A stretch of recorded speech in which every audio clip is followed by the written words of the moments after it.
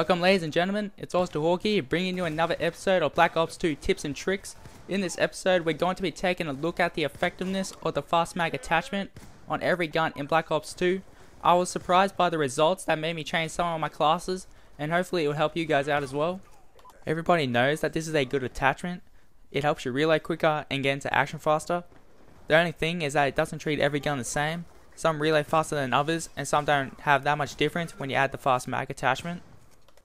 How I got the results, as you can see on screen now, is that I fired at a wall and timed the reload with no attachments, and then I did the same with fast mag attached. And then I did some math, oh my god, math outside school. I subtracted fast mag by normal reload, and then it came to 0.3. Then I divided 0.3 by the normal reload time, and then I timed it by 100%. That gave a 17% decrease in reload time. I did this with every gun in the game, and I won't bore you by doing the math so I'll just get straight to the results. In the assault rifle category, there are 9 guns, as you can see on screen. In the green are the MTAR, SCAR, and Type 25.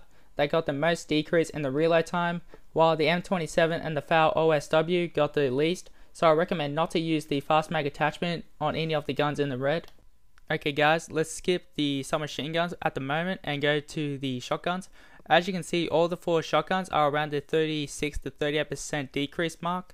But then we have the outlier, which is the M1216 with 31% decrease. With the shotguns, you can use the M1216 with fast mag because it does decrease the reload time by nearly one third.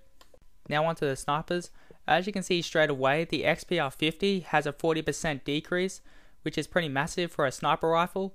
Then you have the SVU-AS with only 29%, which lets down the other sniper rifles because it's under 30%. Now onto the submachine guns. As you can see, they are basically spread all over the place. As you can see with the Scorpion Evo, I think the Scorpion Evo already had the fastest reload in the game, but then it has the highest percentage in decrease when you put the fast mag on, which is incredible. Now there is the Vector K10, which is a slap in the face with 15%, and I really thought the Vector was a beast with fast mag, but as you can see with the reload decrease time, it basically tells us that there is no point in using it on the Vector. Okay guys, thanks for watching. Hope this video has helped you out. It took me about 5 to 6 hours to get the information and make those easy to read pictures.